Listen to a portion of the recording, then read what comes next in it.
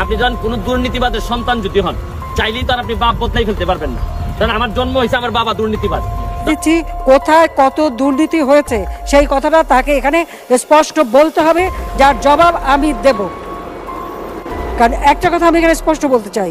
World bank তো পদ্মা সেতু নিয়ে দুর্নীতির অভিযোগ এনেছিল। সেখানে কি কোনো দুর্নীতি হয়েছিল? দুর্নীতি হয়নি। দুর্নীতি হচ্ছে বাংলাদেশে?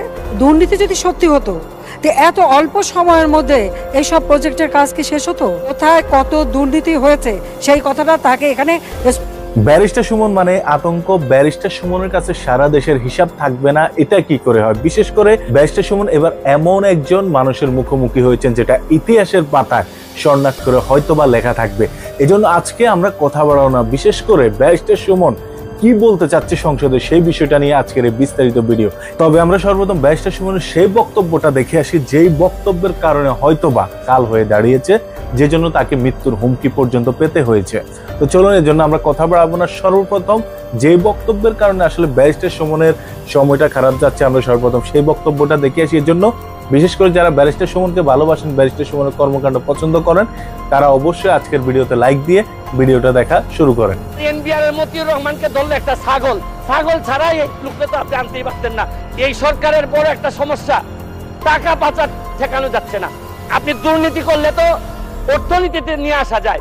টাকা পাচার হয়ে গেলে যে দেশে যায়, এই দেশের অর্থনীতির বাজেট হয়ে যায়। আরে আমরা বঙ্গবন্ধুর খুনি রে আনতে পারি না। আর টাকা পাচার করে এই টাকা ফেরত আনব কীভাবে? এইটা একটা বড় সমস্যা। টাকা পাচার করে আমাদের বাজেট সংকুচিত হয়ে যাচ্ছে মাননীয় স্পিকার মাননীয় স্পিকার আরেকটা জিনিস, এই সরকারে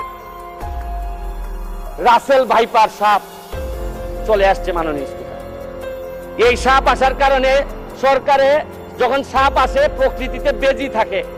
এই বেজি করে কি? সাপরে নিয়ন্ত্রণ করে। কিন্তু এই সরকারে দেখা যাচ্ছে বিভিন্ন জায়গায় রাসেল ভাইপার আছে, কিন্তু বেজি ওই পরিমাণ নাই যে এই সাপরে ধরবে মাননীয় স্পিকার।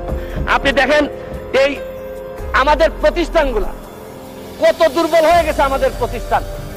একজন ভদ্রলোককে দুদক ধরতে পারে না একজন ভদ্রলোককে এনবিআর ধরতে পারে নাই, বাংলাদেশ ফাইন্যান্সিয়াল ইন্টেলিজেন্স ইউনিট ধরতে পারে নাই, আর এনবিআর এর মতিউর রহমানকে ধরলে একটা ছাগল। ছাগল ছাড়াই এই লোককে তো আপনি আনতেই পারতেন না। ছাগলের কাণ্ড হওয়ার কারণে আর ফেসবুক বাইরে এক মিনিট এক মিনিট। বক্তব্য আপনার বরাবর অ্যাপ্লিকেশন আছে। আমি টু ফোরটি সেভেন ইনভোক করতেছি এখানে। টু ফোরটি সেভেন হচ্ছে কি আমার বিরুদ্ধে এখানে একজন মাননীয় সংসদ সদস্য আমার বিরুদ্ধে অভিযোগ দিয়েছেন। আমার আত্মপক্ষ সমর্থনের সুযোগ দেওয়ার জন্য আমি সময় দেওয়ার জন্য আপনার কাছে দাবি জানাচ্ছি। মাননীয় স্পিকার এখন আছেন আপনারা বেনজির কাণ্ড মাননীয় সাবেক আইজিপি উনি এত বড় হয়ে গেলেন মন্ত্রণালয় জানলো না। মাননীয় স্বরাষ্ট্রমন্ত্রী জানলেন না। এই বাচ্চাটা এত বড় হয়ে গেল, আর কিছুদিন সুযোগ পাইলে পুরা গোপালগঞ্জ কিনে ফেলতেন এই বেনজির সাহেব। তারপরে এইটার দায় এই মন্ত্রণালয় এড়াইতে পারে না মাননীয় স্পিকার। এখন আপনারা কালো টাকা সাদা করবেন। আমার কোনো অসুবিধা নাই, যদি মনে করেন টাকা রয়ে গেছে, কিছু টাকা জমানো বা বিভিন্ন অলস টাকা রয়ে গেছে এটারে সাদা করবেন। কোনো অসুবিধা নাই।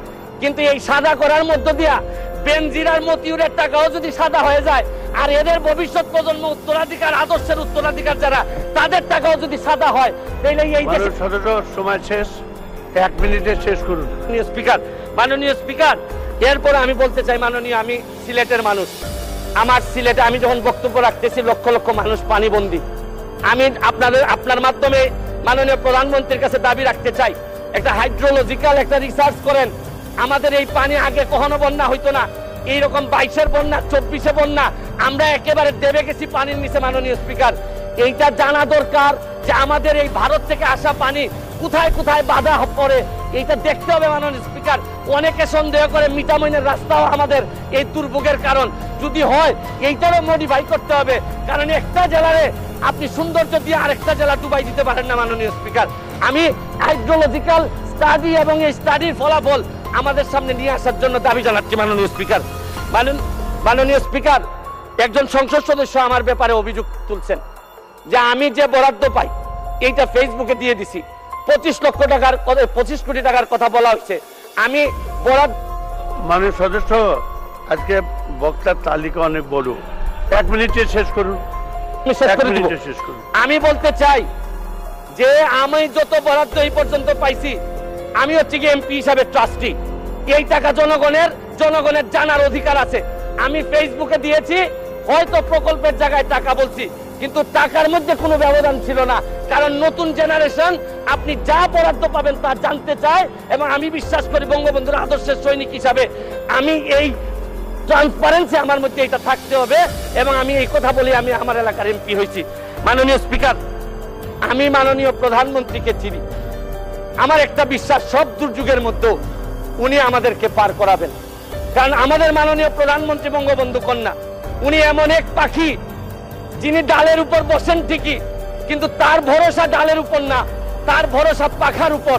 কারণ বিশ্ব ব্যাংক ভাবছিল যে ডাল ভেঙে উনি পড়ে যাবেন, পদ্মা সেতু বানাইতে পারবেন না, কিন্তু ঠিকই ডাল ভাঙার কারণে পড়েন নাই, নিজের পাখা দিয়ে দর্শক, আপনারা ব্যারিস্টার সুমনের পুরোপুরি বক্তব্যটা দেখেছেন। আসলে ভালো মানুষের পক্ষে বা দেশের জন্য ভালো কাজ যারা করে অবশ্যই আমাদেরকে তাদের সাপোর্ট করা উচিত।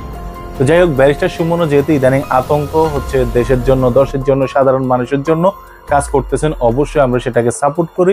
আমরা চাই যে ব্যারিস্টার সুমনকে রাষ্ট্রীয়ভাবে সিকিউরিটি দেওয়া হোক, যে যে ধরনের অসাধু কিলার বাহিনীরা তাকে মারার জন্য ঘুরতেছে, সেখান থেকে তাদেরকে প্রোটেক্ট দেওয়া হোক।